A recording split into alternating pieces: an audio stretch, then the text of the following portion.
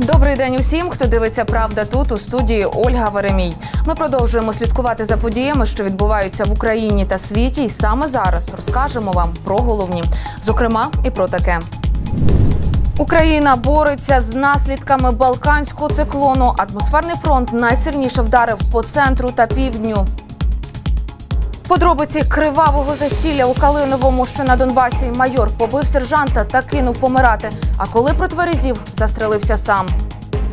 Корпорація Боїнг пропонує уникнути міських заторів та пересісти на повітряне таксі.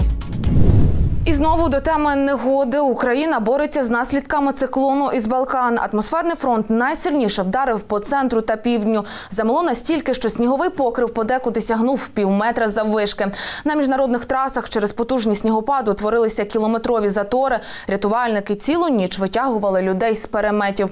На вулиці столиці виїхала уся техніка. Тут сніжити перестало тільки опівночі. Через заметілі на в'їзд до столиці справжня черга з вантажівок. Кілька кілометровий затор через негоду утворився і на трасі Одеса-Київ. На Вінниччині через негоду скасували половину автобусних рейсів. І загалом синоптики прогнозують, що циклон переміститься на захід України, сніжитиме ще сьогодні та завтра. Відтак водіїв попереджають про ускладнений рух на дорогах та просять утриматися від поїздок по можливості. Про ймовірні затримки рейсів через негоду попередили і у аеропорту Бориспіль. Косити ряди українців продовжує й грип. Упродовж минулого тижня захворіли майже 192 тисячі людей. Про це повідомили у міністерстві охорони здоров'я. Також у мозі зареєстрували 6 летальних випадків. А з початку епідемічного сезону маємо 25 смертей. Зокрема, серед них четверо дітей віком до 17 років. Відомо, що жоден померлий не був вакцинований. Лідирує за фатальними наслідками хвороби Чернігівщина. Тут переповнені лікарні та навіть почали дезінфікувати громадський транспорт спеціальним розчином. Також показники захворюваності перевищені на Житомирщині, Київщині, Одещині та Сумщині. Для того, аби вберегтися від грипу, медики закликають українців вакцинуватися та не займатися самолікуванням. І до чергової трагедії у Керченській протоці 12 врятованих моряків, яких вдалося визволити із палаючих танкерів Кенді та Маестро, доправили до Керченської лікарні. Жоден із них не розуміє російської мови, утім від камер вони не ховаються. Більше подробиць інциденту та як палаючі судна пов'язані із санкціями США, дізнаєтесь із нашого наступного сюжету. Не можуть загасити. У Чорному морі досі палають два танкери, які зайняли ще 21 січня. Тоді на борту перебували індійські і турецькі моряки. Самі ж судна йшли під прапорами Танзанії. Ймовірно, на одному з газовозів стався вибух під час перевантаження палива на інше судно. Тож і виникла пожежа. Морякам довелося вистрибувати просто у відкрите море, унаслідок чого 14 із них загинуло. Утім, врятувати вдалося лише 12 із 32 членів екіпажу. І допоки триває пошукова операція, врятованих доправили до Керченської лікарні. Состояние на данный момент может оцениваться как удовлетворительно. У нескольких пациентов, более половины, катаральное проявление в горле как следствие переохлаждения. У двух капитанов гипертонический криз неосложненный. Им оказана необходимая помощь, сняты электрокардиограммы, посмотрены. И у одного пострадавшего небольшой ожог в области шеи. У Росії ж запевняють, що інцидент жодним чином не впливає на пересування водного транспорту Керченською протокою. Окрім того, танкери Кенді і Маестро є в санкційному списку Мінфіну США. Як стверджують у Вашингтоні, вони здійснювали поставки палива в Сирію впродовж останніх двох років. До того ж, коли виникла пожежа, на суднах теж було близько 4,5 тисяч тонн палива. До порятунку членів команди залучили близько 10 кораблів. Безусловно, город готов э, к приему пострадавших.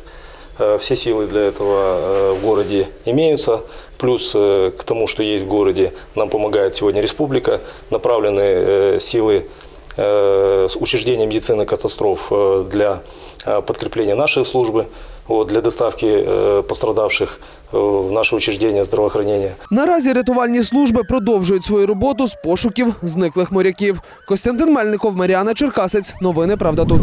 Її шукали впродовж півроку, аби вона надала важливі свідчення. Олена Федірко, нарколог, яка першою оглянула Олену Зайцеву після горизвісної аварії у Харкові, нарешті з'явилася у суді. Вона розповіла подробиці, які були перші результати огляду та чи були в крові підозрюваної наркотичні речовини. Нагадаю, тоді, у жовтні 17-го, внаслідок аварії загинуло шестеро людей. Звільнилася за власним бажанням і просто жила за містом. Із дому не виходила. Так Олена Федірко описала останні півроку свого життя. Нарколог, яку вважають ключовим свідком у справі щодо аварії на Сумській, нарешті з'явилася в суді. Жінку розшукували з літа 2018-го. Ходили навіть чутки, що вона втекла на окуповану територію. Зрештою, поліція знайшла її на дачі. Да ніхто не приходив, ніхто нічого, ніяких повісток не. Я сьогодні телефонувала слідчому, який е, дав доручення, щоб мене розшукали. Він щось таке невнятне сказав, там лікарі, там щось там треба. Рідні загиблих у піврічну абсолютну невідомість Федірко не вірять. В смешном положении те лица, которые отвечают за то, что ее нашли. Вот поэтому она и появилась. А сейчас, я так то понимаю, ее очень, очень сильно проинструктировали. Лікарка каже, що багато чого не може згадати з ночі 18 жовтня 2017 року. Усі дані виклала в протоколі огляду, проте заявляє, що точно пам'ятає, у Олени Зайцевої тест на алкоголь показав нуль етанолу. Наркотичне сп'яніння не, іде- не, ніхто не ідентифікував. Там е, висновок е, встановлений факт вживання опіатів. І тому це було чи наркотичне сп'яніння, чи струс головного мозку казати неможливо. Найбільший резонанс упродовж усього слідства у справі про ДТП викликала наявність опіатів у крові Олени Зайцевої. Сторона обвинувачування наполягала, що це означає, що водійка була під дією наркотиків. Захист наголошував, це наслідок вжитого знеболюваного. Щоб встановити це, мали провести повторне дослідження, але фахівцям не вистачило біоматеріалу. Мовляв, нарколог взяла замало сечі. Федірко це спростовує. Воно нікуди не могло зникнути, воно все було опечатано і все знаходилося в лабораторії. І зразків було достатньо. Достатньо, звісно. 22 січня Олену Федірко допитали всі сторони процесу. Захист Зайцевої наголошує, жінка підтвердила, що опіати в сечі – це ще не наркотики. Без залишок будь-яких речовин в біологічних зразках ще не говорить про наркотичне сп'яніння як таке. Адвокати потерпілих переконалися, що сама процедура забору біоматеріалу була зроблена відповідно до норм. Є висновки лабораторних досліджень. Всі ці документи були досліджені. Питання стояло виключно в акті. Позиція Федірко в даному випадку мені не зрозуміла, як не зрозуміла її е, дивовижна, на мій погляд, відсутність декілька місяців і пояснення того, що е, до неї ніхто не звертався, її ніхто не розшукував. Прокурор після виступу в суді розшукуваного нарколога не побачив обтяжуваних обставин для Зайцевої. Тепер заслуховують експертів, яким висунули недовіру адвокати. Новини правда тут. Тим часом стали відомі подробиці кривавого застілля у Калиновому, що на Донбасі. Раніше там знайшли мертвими двох військових. Як виявилося, майор побив сержанта та кинув помирати. А коли протверезів, застрелився сам. Чоловіки разом випивали, а потім між ними стався конфлікт. Його причини невідомі. Суперечка переросла у бійку, і побитий сержант втратив свідомість. Він так і не прийшов до тями і просто замерз на вулиці. Протверезівший майор знайшов товариша зранку вже мертвим. Після цього він сам наклав на себе руки. У Переє розпочались термінові дебати. Сьогодні у французькому Страсбурзі розглядають українське питання. На порядку денному перша агресія Кремля. За підсумками сесії мають прийняти відповідну резолюцію. Згідно з нею, захоплених Росією українських моряків можуть визнати військовополоненими. Що найважливіше, адже ця резолюція вперше проголосить такий статус бранців Кремля. Також документ передбачає засудження побудови Керченського мосту та вимогу вільного судноплавства. І вже більше про засідання пар'є у нашому вечірньому випуску новин. Скандали, інтриги та бійки у Київській облдержадміністрації стартував конкурс перевізників. Уже 23 підприємці, які претендують на здійснення послуг на маршрутах у Київській області, подали свої документи. Однак отримають таку можливість точно не всі, адже під час засідання члени спеціальної комісії багатьох до конкурсу не допускають.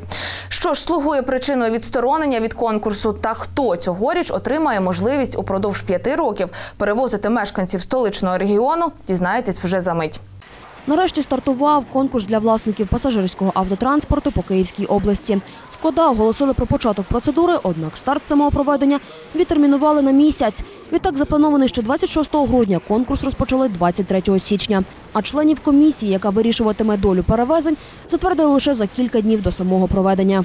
От зараз ми дізнаємося, що від 21 січня начальник управління інфраструктури Юрій Чередніченко е, видав наказ куди залучив експертів. Дійсно, в нас теж є експерти е, у даній галузі, е, які мають досвід роботи більше 10 років. Долучати, ви бачите, долучати не захотіли. Тільки не відкрили конвертер з документами перевізників, як зайвих попросили вийти. Як з'ясувалось, засідання відбуватиметься за закритими дверима.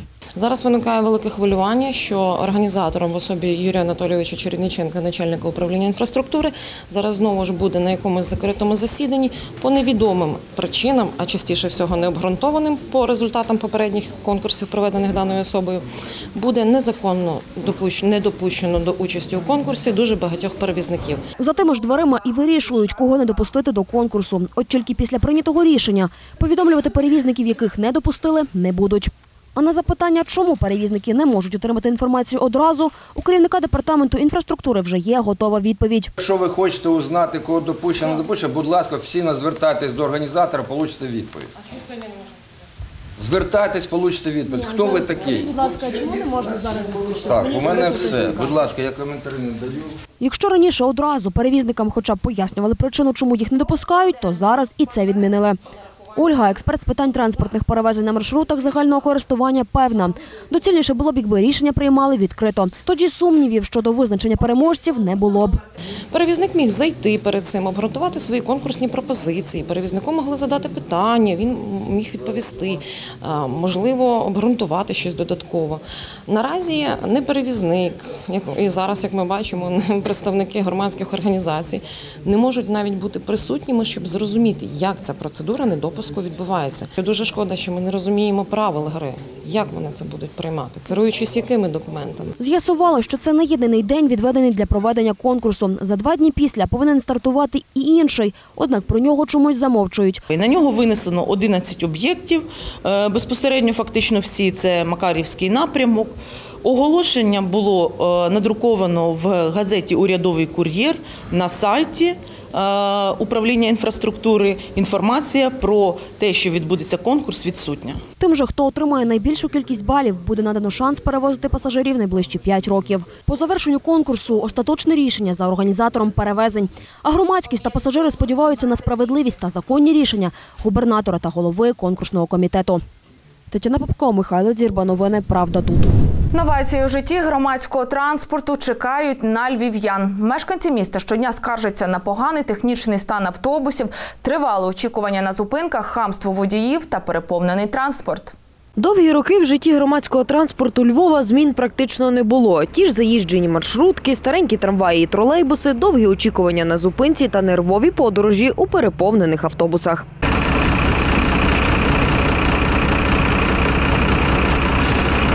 Проте цьогоріч на містян очікують зміни. Якщо 2018-й розпочався з відміни пільгового проїзду для пенсіонерів, то на початку 2019-го стареньким повернули безкоштовні подорожі у маршрутках. Нарешті ми, от е, буквально після нового року, досягли такої домовленості. Перевізники погодились, що вони так само долучаються до, е, скажімо, до, цього підходу, що вони будуть безкоштовно возити пенсіонерів і людей з інвалідністю третьої категорії.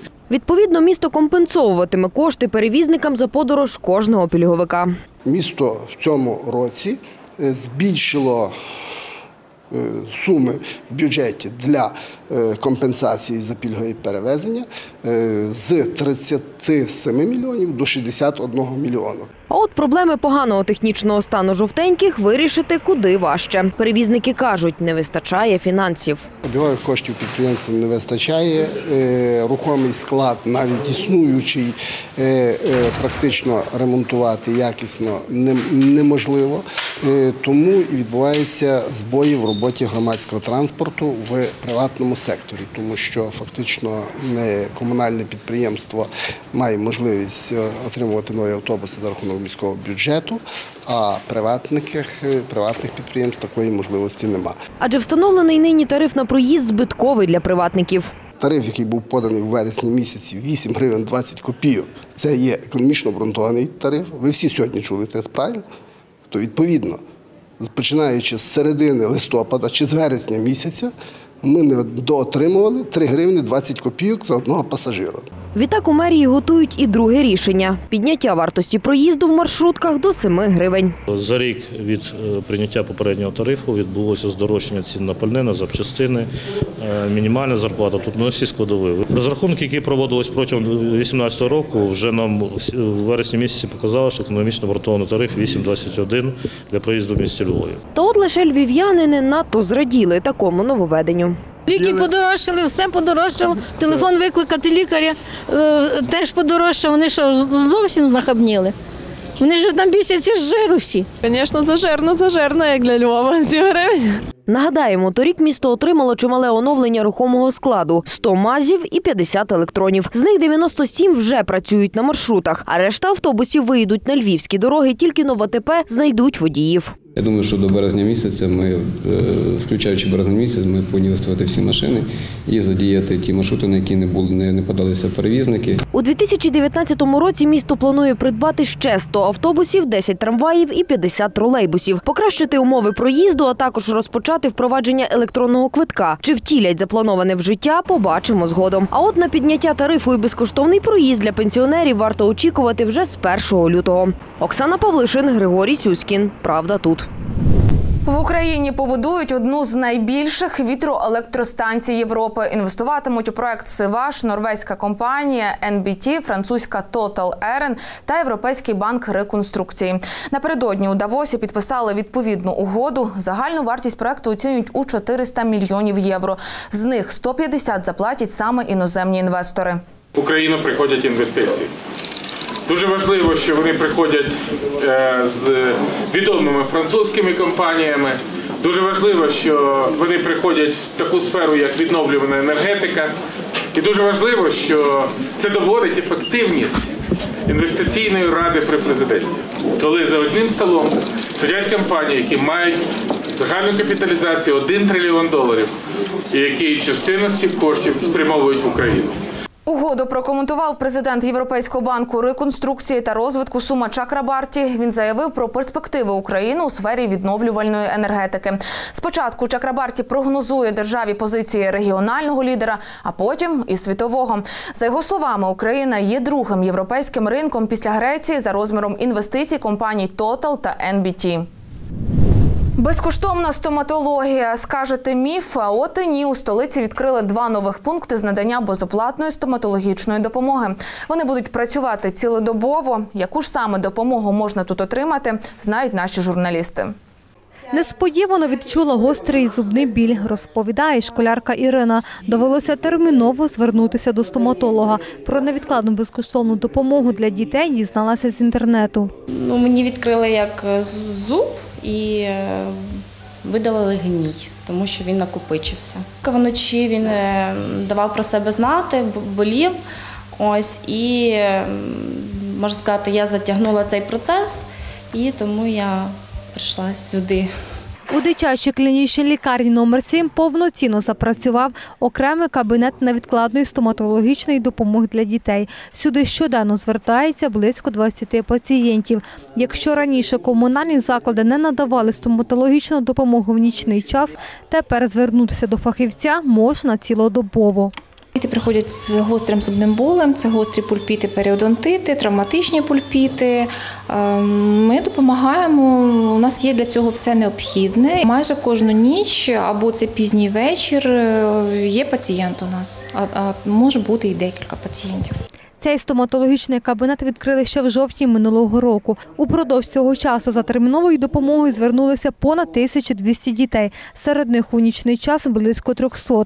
Також у кабінет придбали нове обладнання на суму 4 мільйони гривень. Крім того, у лікарні працює єдине в місті дитяче відділення щелепно-лицевої хірургії. Якщо е, в питання стоїть е, видалення зуба, наш пункт невідкладної стоматологічної допомоги співпрацює з пунктом челюсно-лицевої хірургії і надається допомога дитині, е, ну, не виходячи з дитячої клінічної лікарні. Раніше у Києві працював лише один пункт невідкладної стоматологічної допомоги. Наразі їх є вже два. Сюди можуть звертатися дорослі та окремий третій, який обслуговує винятково малечу. Адреси безкоштовних стоматологічних кабінетів можна знайти на сайті Київської міської адміністрації. Ірина Ніколенко, Михайло Дзірба. Новини Правда тут. Трагедія у Сполучених Штатах Америки. Чоловік відкрив стрілянину у банку. Є загиблі. Інцидент стався в місті Себринг, штат Флорида, у банку Сантраст. За інформацією місцевих видань, підозрюваний сам звернувся до поліції та зізнався, що скоїв злочин. Коли копи прибули на місце, вони оточили периметр і спробували домовитися із зловмисником, але він відмовився залишати банк і здався тільки після того, як в будівлю війшли штурмовики. Наразі відомо, що в результаті стрілянини загинуло щонайменше п'ятеро людей. Підозрюваного затримали. Ним виявився 21-річний Зефен Ксавер. Про мотиви злочинця на цей момент не знаємо. Шатдаун, протести урядовців та конфлікт з демократами. На що ще готовий піти Трамп, аби спорудити стіну на кордоні з Мексикою? Вартість реалізації проекту становить чи не 6 мільярдів доларів США. А от скільки коштує зруйноване людське життя? Зізнання однієї з мігранток. Далі у нашому сюжеті. Спорудження стіни на кордоні з Мексикою викликало шквал емоцій та обурення як американців, так і мешканців сусідніх країн. Захищаючи кордон, Трамп забув головне: не всі мігранти є злочинцями. Хтось просто шукає прихистку. До прикладу, Марія має свою маленьку американську мрію утекти від чоловіка-диктатора. Я завжди почуватиму себе винною. Завжди. Під час сварки з чоловіком унаслідок нещасного випадку постраждав її син. Жінка й досі карає себе за це, на відміну від батька дітей. Він приїхав дуже п'яний вранці, коли я готувала сніданок для дітей. Мій чоловік вдарив мене і одним ударом кинув мене на плиту. Я впала на каструлю, що була на вогні, і потім вона перекинулась на мою дитину. Тоді мій старший син схопив каструлю так, щоб олія більше не потрапляла на молодшого, і тим самим він обпік собі кінчики пальців. Після цього на голові молодшого сина Марії залишився шрам, але навіть це не оговтало чоловіка, і він продовжував тероризувати членів сім'ї. І таких, як Марія, тисячі біженців, жертв політичних репресій та насилля в сім'ї. Споруджуючи стіну, Дональд Трамп захищає кордон, проте забирає в людей шанс на нормальне життя. Так, захищати наші кордони важливо. Наша країна має бути вільною від злочинців. Але президент Трамп повинен задовольнити потреби нужденних. Він має зустрітися з дітьми та великою кількістю сімей, які просять захисту. Я хочу працювати і бачити, як ростуть мої діти, побачити, як вони забудуть все, що з ними зробили. Ірина Маньківська, новини Правда тут. Далі про майдан по венесуельськи. Уже четвертий день там протестують проти президента Ніколаса Мадуро. Унаслідок загальнонаціональних акцій, організованих опозицією, яка не визнає результатів виборів, 16 людей загинуло. Зокрема, 16-річний підліток. Постраждали люди в штатах Амасонас, Болівар, Португеса, Барінас та Тачира. У столиці Каракасі бійці Національної гвардії застосували сльозогінний газ для розгону демонстрантів, а потім відкрили вогонь по протестуючих. Також тут вели броньовану техніку. І я нагадаю, напередодні спікер парламенту Хуан Гуайдо проголосив себе президентом. Він приніс присягу просто неба і одразу ж отримав міжнародне визнання. Серед дев'яти країн, які підтримали Гуайдо, США, Канада та більшість латиноамериканських сусідів. А от Росія іншої думки політичний переворот Кремль назвав незаконним. Мадуро ж вважає себе легітимним президентом. Він навіть розірвав дипломатичні відносини США і дав американським дипломатам 72 години, аби ті покинули країну. І ми розкажемо вам про інші події, які сталися у світі. Дивіться більше у огляді моїх колег.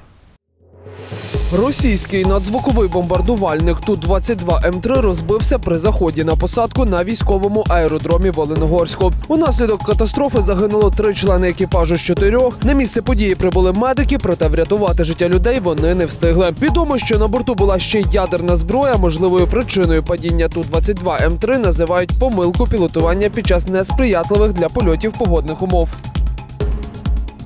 Військово-повітряні сили Ізраїлю завдали удару по щонайменше двох позиціях у секторі Гази. Одна в південній частині, друга у центральній. Зазначено, що удар був нанесений у відповідь на невдалий запуск ракети в сторону території Ізраїлю. Унаслідок авіаудару загинув один представник руху Хамас. Ще четверо отримали поранення. У канадській провінції Саскачеван зійшов з рейок і загорівся вантажний потяг. Інцидент трапився на залізничному переїзді на північ від міста Саскатун. Спочатку вагони поїзда хиталися, а потім почали падати. Усього з рейок зійшло 30 вагонів. Після того як вони перекинулися, сталася пожежа. Кілька вагонів і локомотив загорілися через витік палива. Компанія, що володіє потягом, повідомила, що постраждалих немає. Відомо, що в 50 вагонах перевозили зерно. Цього місяця президент Зімбабве Емерсон Нангава оголосив про підвищення цін на пальне. Такий жорсткий крок мав вирішити проблему дефіциту, натомість призвів до того, що зараз у Зімбабве найвища ціна на паливо у світі. Місцеві не стали із тим миритися, і в країні почалася хвиля масових протестів. Наразі бунтарі палять шини та вимагають імпічменту Нангави. За даними комісії з прав людини Зімбабве, під час протестів, що розпочалися ще минулого тижня, загинуло щонайменше вісім людей. Патриція Кшемінська виступила із ініціативою зібрати кошти на користь благодійної організації ВОСП, символічно назвавши акцію наповнити останню банку вбитого мера Гданська Павла Адамовича. У результаті добровільних пожертвувань поляки вже зібрали майже 16 мільйонів злотих. Нагадаємо, що на мера Гданська Павла Адамовича напали ввечері 13 січня під час благодійного концерту. На сцену, де перебував Адамович, вибіг чоловік, який почав кричати, що під час правління попереднього уряду Польщі був незаконно засуджений до тюремного ув'язнення. А опозиційна громадянська платформа його буцімто катувала. Додам, що позачергові вибори міського очільника Гданська відбудуться уже 3 березня. Далі про спортивні рекорди. Лучник та вже чинний рекордсмен України Богдан Чіпак на досягнутому не зупиняється. Цього разу спортсмен з інвалідністю встановлював рекорд України з відтискання за 30 секунд. Чи вдалося це йому? Знають мої колеги. Він наважився на те, що навіть люди і спроб не робили, знаєте, щоб подати десь до національного реєстру, спробувати хоча б будь-який результат, щоб встановити саме оцей рекорд. Раз, два, так! Два, три, чотири, п'ять. Так Богдан Чіпак почав шлях до свого чергового рекорду. Цього разу йому потрібно було якомога більше разів відтиснутись за 30 секунд від підлоги на кулаках. 30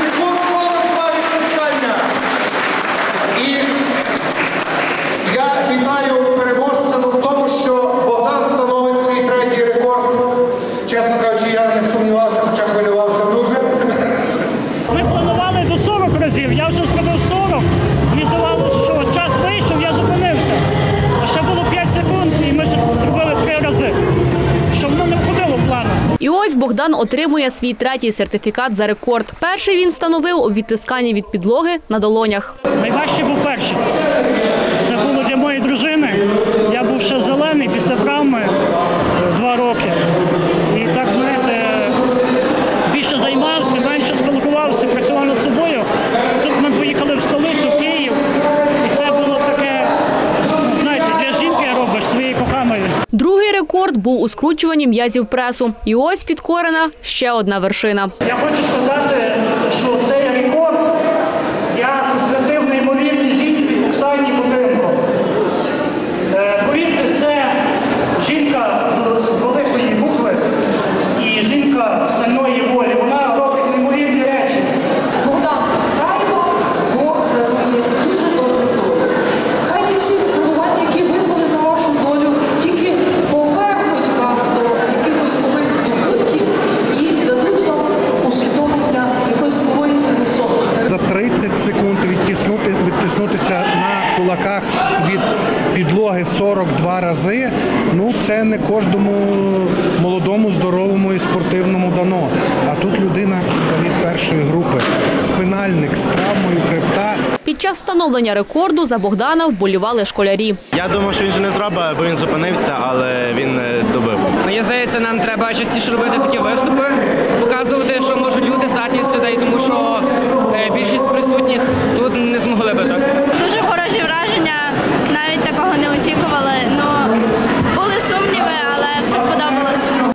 Присутні у залі могли взяти участь у флешмобі і таким чином наблизитись до рекорду Богдана Чіпака. Ця співпраця у нас сьогодні вперше. До того ми не були знайомі.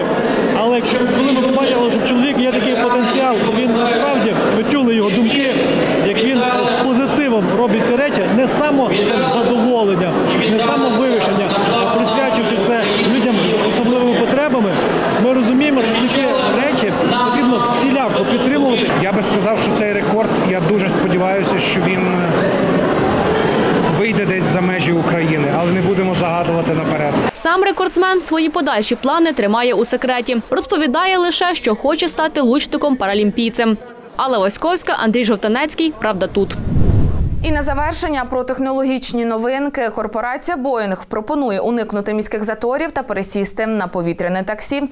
Напередодні у авіакомпанії провели успішне випробування моделі прототипу. Створенням літака займався підрозділ Boeing Next. Технічний директор Грег Хіслон каже, що ідею втілили у життя лише за рік. Пристрій здійснив контрольований політ та посадку. Відомо, повітряне судно рухається автономно. Воно призначене для пересування в умовах міста і працює на електриці. Апарат може забезпечити до 80 кілометрів польоту. І загалом прототип моделі має більше 9 метрів довжину та 8,5 у ширину.